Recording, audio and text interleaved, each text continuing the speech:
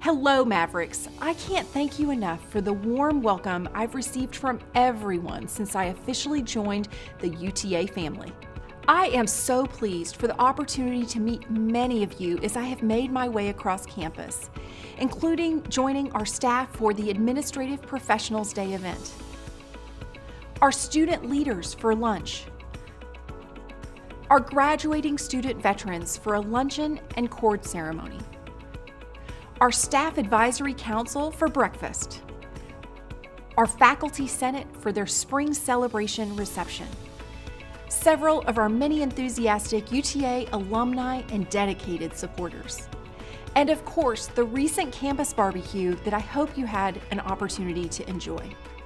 In my short time on campus, I have truly been honored to see Maverick excellence in action across campus as I continue to make the rounds.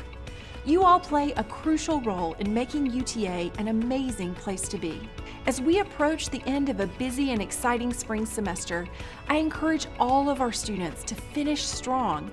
Take advantage of the robust support systems around you to maximize your potential, your opportunities, and your grade point average. I know that spring semester final exams are upon us. Stay focused and do well. To all of our graduating students, congratulations! The conclusion of the spring semester also brings one of the most exciting events at UTA commencement. It's the culmination of years of your dedicated study and hard work. I can't wait to be there with you as you cross that stage and celebrate your achievements with your family and friends. I look forward to your future as you become UTA alumni. I truly hope everyone feels as inspired and energized as I am about what lies ahead for UTA. You can follow what I'm up to on my Twitter account at UTA Cowley and by visiting my website, uta.edu slash president, where you may also provide me your feedback and comments.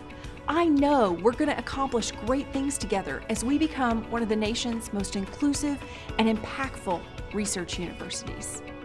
Mav up.